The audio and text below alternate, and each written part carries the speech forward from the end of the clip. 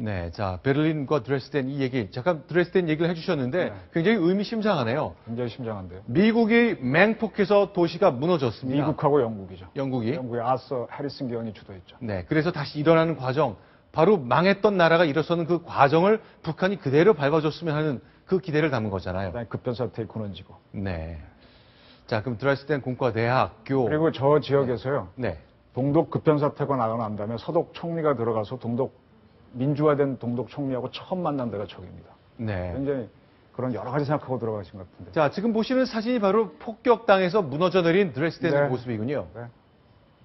네, 융단 폭격이라는 용어가 처음 쓰였던 미국과 영국 연합군의 독일 폭격의 결과입니다. 유명한 사진들이죠. 바로 저랬던 저 장면이 저 곳이 네. 통일을 거치면서 20년이 지나는 과정에 또 다른 동독 지역 발전의 중심지 역할을 하고 있는. 대통령이 외국 가시면 주로 공대를 많이 가시는데요. 네. 중국 갔을 땐 청와대를 청와대는 또 인문보다는 사회과 저 자연과학이 있었는데 거기를 가시고 했는데 그렇죠. 제가 생각하기에는 통일되면 김책공대에서 한번 연설하시는 거 아닌가 뭐 그런 네. 염두를 두는 것 생각 들기도 하고요. 네, 네. 드레스덴 대학이 공대가 꽤 센데 최고는 아닙니다. 동, 동, 동독 지역이다 보니까 한 네. 3, 4위쯤 됩니다. 알겠습니다. 자, 그에 앞서서 이제 그 박근혜 대통령의 독일 국빈 방문 3박 4일 일정이 좀 마무리돼 가고 있는데 하루 전에 있었던 베를린 방문에서도 다양한 이슈와 이야기거리들이 나왔습니다. 네, 네. 지멘스라는 기업을 방문했는데요. 그 장면 저희가 좀 보시면서 네. 얘기를 나눴으면 좋겠습니다. 네, 지멘스라는 기업 대통령 부친 박정희 전 대통령하고도 인연이 다 있는 그런 곳이죠. 우리나라로 비교하면 현대랑 비슷한 기업이죠. 네, 반도체도 만들고 의료기기도 만드는 최고의 전자기업입니다. 네. 지멘스를 방문해서 이제 젊은 한국인 근로자들인 것 같네요. 네, 대화를 나누고 있는 모습. 뭔가 발전시설 공장 섹션을 보고 있는 모습이네요. 발전소 같습니다. 네. 터빈, 터빈이네요. 자, 그러면 저런 그 지멘스를 방문하면서 대통령이 가졌을 생각 몇 가지 좀 정리를 해봤으면 좋겠는데 대기업 중심이 아니라 hidden champion 고용이 많이 생기는 강한 중소기업을 만들겠다는 의지를 강하게 밝혔었는데 지멘스는 남다른 곳이잖아요. 그 우리로 얘기하면 현대처럼 중공업 많이 하고 그 네. 독일 자랑하는 이체 고속철조도 만들고 원자로도 네. 만드는 큰 회사인데요. 저길 가서 네. 결국 네. 중공업이 독일을 키웠듯이 네. 박 대통령이 저를 갔었거든요. 박정희 대통령이 저 그걸 1964년 따라간 거예요. 얘기입니다. 예, 저기 나옵니다.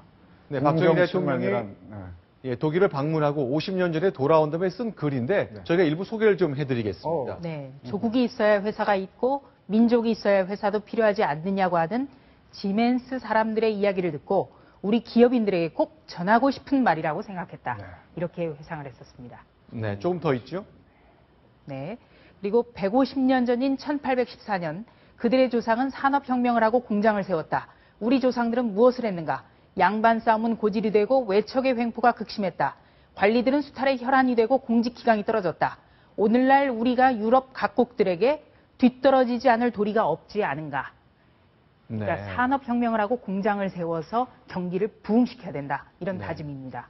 그렇죠. 지멘스가 설립되던 지금부터 딱 200년 전 1814년인데 그때 우리는 세도 정치하고 조선 말기에 붕당을 이뤄서 싸웠던 일들 기억하면서 우리는 과연 어디로 가야 할지 그 방향을 좀 느꼈던 거로 기억해야 되겠네요. 알겠습니다. 자, 베를린을 방문한 박근혜 대통령 역시 빼놓을 수 없는 것이 장벽을 넘어서는 일일 텐데요. 이번 드레스덴 공대 연설에도 언급됐던 장벽의 모습을 대통령이 함께 걸었습니다. 그 장면 역시 같이 보겠습니다. 네. 자, 여기 통일되기 전 동독과 서독을 나누던 베를린 장벽, 그 옆을 대통령이 방문해서 직접 그 장벽을 확인하고 있습니다. 그리고 또 50년 전에 박정희 전 대통령이 차관을 위해서 방문했을 때도 베를린 장벽을 봤지요. 네.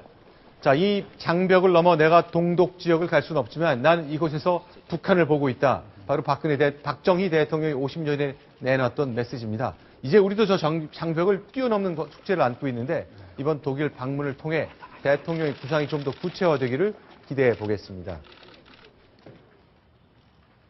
네, 자, 오늘 내놨던 박근혜 대통령 22분짜리 연설은 앞으로 3년 반 남은 대통령, 4년 가까이 남은 대통령의 임기 가운데 대북 정책의 근간을 이룰 것으로 보입니다.